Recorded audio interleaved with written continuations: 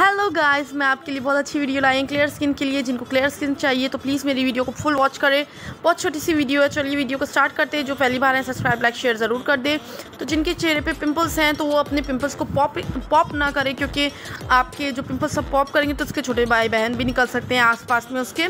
उसके बाद आपको क्या करना है कि टेंशन बिल्कुल नहीं लेनी है टेंशन को अवॉइड करना है टेंशन बिल्कुल नहीं लेनी है। अगर टेंशन लेंगे, उससे भी आपके चेहरे पे बहुत ज़्यादा प्रॉब्लम्स आती हैं। उसके बाद आपको सात से आठ घंटे की नींद लेनी है, अच्छी से नींद लेनी है। एक दिन में आपको अच्छी से नींद लेनी है। उसके बाद आपको डेली फेस वॉश करना है दो बार। रात में सोने से पहले ज़रूर करें।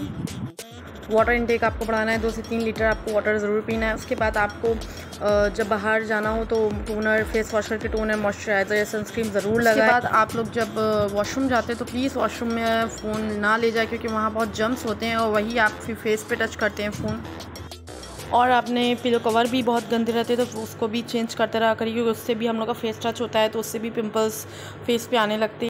आपको भी अगर ऐसी क्लियर स्किन चाहिए तो मेरे हैक ज़रूर ट्राई करें। सब्सक्राइब करें लाइक करें शेयर करें अपने फ्रेंड्स में फैमिली में। बाय बाय गाइस मैं फिर लौटूँगी एक न्यू वीडियो के साथ।